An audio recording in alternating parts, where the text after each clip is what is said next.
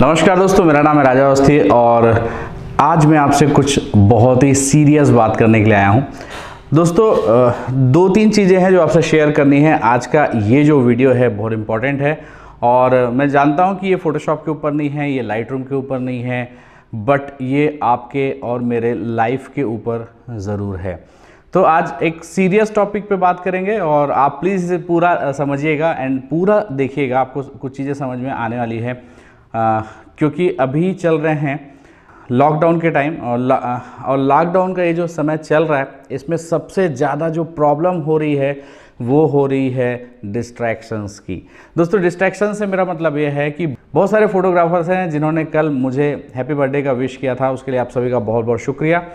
And uh, बहुत सारे लोगों ने मुझे बहुत सारे फ़ोटोज़ भेजे मैं फ़ोटोज़ आपसे शेयर नहीं कर रहा हूँ बट मैक्सिमम लोग इस लॉकडाउन के डेज़ में कुछ ना कुछ नया ट्राई कर रहे हैं। तो क्या ये नया ट्राई करना आपके लिए सही है या फिर नहीं है? इसी टॉपिक पे मैं बात करने वाला हूँ, क्योंकि अगर मैं बात करूँ एज एन वेडिंग फोटोग्राफ़र की एज एन फ़ैशन फोटोग्राफ़र की तो क्या हमारे लिए कुछ भी उठपटांग चीज़ों को शूट करना सही है? मैं किसी को हतोत्साहित नहीं कर रहा हूँ। अच्छा काम करना सभी के लिए बहुत अच्छा है एंड मैं ये सोचता हूँ कि अगर आप एक वेडिंग फोटोग्राफ़र हैं तो शायद आपको आपके नेक्स्ट प्लानिंग के बारे में सोचना चाहिए। क्योंकि आने वाला जो समय है, वो काफ़ी मुश्किल भरा हुआ होगा। क्योंकि अभी अगर मैं बात करूँ, मैं अपनी बात करता हूँ, मैं आपको बताना चाहूँगा कि मेरे जो जो भी अप्रैल के जो ऑर्डर थे, वो सारे के सारे कैंसिल हो गए हैं। उसके अलावा मेरा, मेरे पास जो मई के ऑर्डर्स थे, उनका भी अभी कोई फिक्स नहीं है कि वो कैसे होंगे, क्या होंगे। तो दोस्तों, जैसे आप हैं, वैसे ही मैं भी हूँ। इसीलिए मैं आपसे डायरेक्ट बात करना चाहता हूँ डायरेक्ट आपको समझाना चाहता हूँ कि भैया प्रोडक्ट शूट पे आप ध्यान दें, कोई दिक्कत नहीं है। बट यहाँ पे बहुत सारे लोग हैं जिन लोग स्मोक का फ़ोटो क्लिक कर रहे हैं, जिन लोग ग्लासेस का फ़ोटो क्लिक कर रहे हैं। अच्छी बात है, आप प्रैक्टिस करें, कोई दिक्कत वाली बात नहीं है। परंतु अगर आपने अपने फ्यूचर प्लान को सिक्योर नहीं किया है आपके पास अगर इस चीज़ के बारे में कोई डिस्कशन नहीं है कि, कोई चीज़ फिक्स प्लान नहीं है कि भाई मुझे आने वाले समय में मैं वेडिंग्स के बदले किन चीज़ों से इनकम अर्न कर पाऊँगा ये बहुत इंपॉर्टेंट टॉपिक है। तो मैं ये छोटा सा वीडियो आपके लिए सिर्फ़ इसलिए लेके आया हूँ क्योंकि भाई, अगर मैं अपने मन से इस टॉपिक पे वीडियो बना लूँ कि भाई कि आने वाले समय में आपको किन किन चीज़ों से अर्निंग हो सकती है या कौन कौन सी ऐसी चीज़ें जिस पे आप अच्छा काम कर सकते हैं तो हो सकता है कि आपको लगे कि यार ये फालतू बातें कर रहा है। इसीलिए इस वीडियो के माध्यम से मैं फ़र्स्ट आपको ये पूछना चाहता हूँ कि अगर आप इस टॉपिक पर वीडियो चाहते हैं कि क्योंकि मैंने अपना प्लानिंग सेट किया है, मैं किस तरीके से काम करूँगा। अगर आप चाहते हैं कि आप कैसे काम करें तो आप मुझे मैसेज करिएगा या फिर यहाँ पे कमेंट करके बताइएगा। मैसेज मत करिएगा। आप कमेंट करिएगा। कमेंट करने से मुझे ये क्लियर होगा कि एग्जैक्टली exactly आप चाहते क्या हैं। क्योंकि फोटोग्राफी सीखना बहुत अच्छी बात है फोटोशॉप सीखना बहुत अच्छी बात है, वीडियोग्राफी सीखना बहुत अच्छी बात है, एडिटिंग सीखना बहुत अच्छी बात है, इसमें कोई बुराई नहीं है।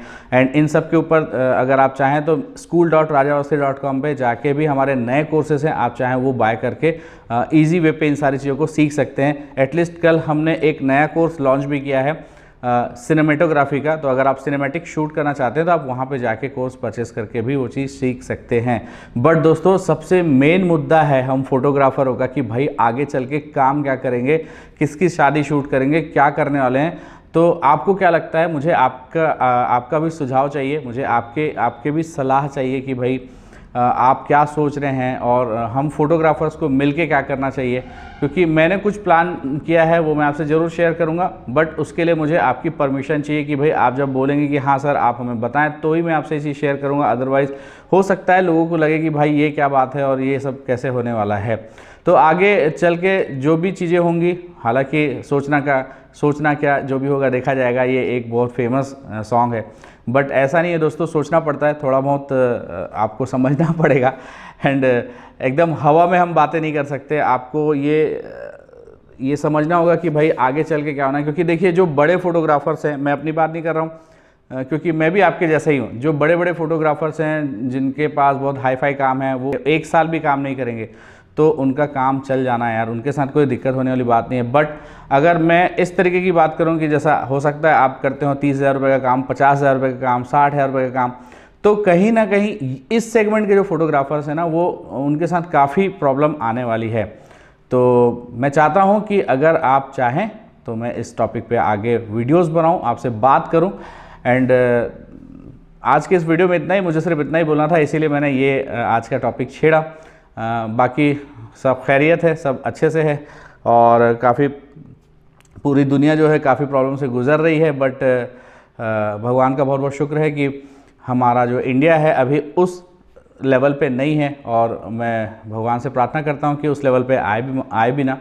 एंड आप सभी स्वस्थ रहें, आप सभी मस्त रहें, अपनी फैमिली के साथ व्यस्त रहें। Thank you so much